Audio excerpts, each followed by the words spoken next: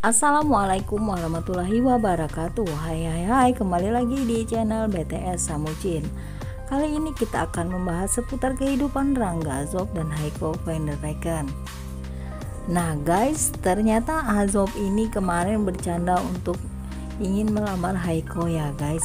Dan ternyata Haiko ini entah bercanda entah serius dia juga menerima lamaran Azob tersebut yang di mana Azob ini sedang bercanda. Mau nggak aku lamar? Terus Haiko jawab mau. Nah, mungkin itu beneran kali ya guys. Tapi mereka ini sambil bercanda-canda. Ah, betapa senangnya para fans Haizop ini mendengar hal itu. Alangkah senangnya ya guys kalau mereka ini benar-beneran bisa bersatu di dunia nyata karena itulah yang selalu ditunggu para fans Heizover ini.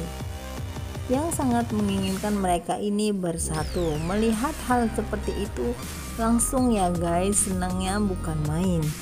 Karena seperti melihat apa saja ya guys. Seperti doa mereka itu terkabul dan didengar oleh yang di atas karena melihat hal tersebut Gimana menurut kalian? Tuliskan di kolom komentar di bawah ini. Oke guys, sampai ketemu di video selanjutnya.